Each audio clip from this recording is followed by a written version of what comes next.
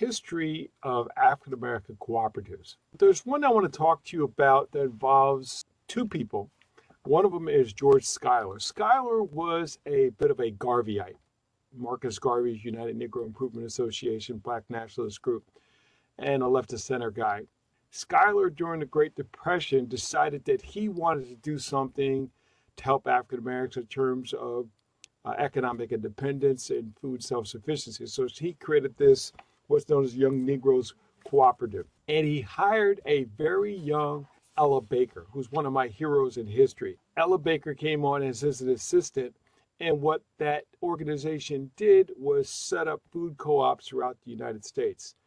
And they were buying clubs, they were black owned and operated grocery stores in which people could buy shares into them and make sure that they had control of their food system.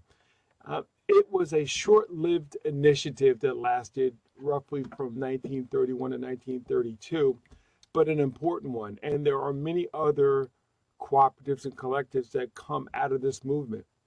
And it's Ella Baker is also key. She's key because she goes on to become one of the founding members of SNCC, the Student Nonviolent Coordinating Committee at Shaw University in North Carolina.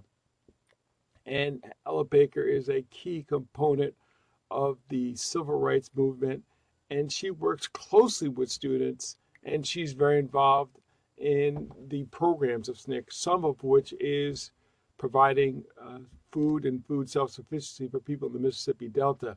So there's this long history of Ella Baker's involvement in left of center politics food sovereignty and economic independence for Black people that I think is notable and I want to mention today.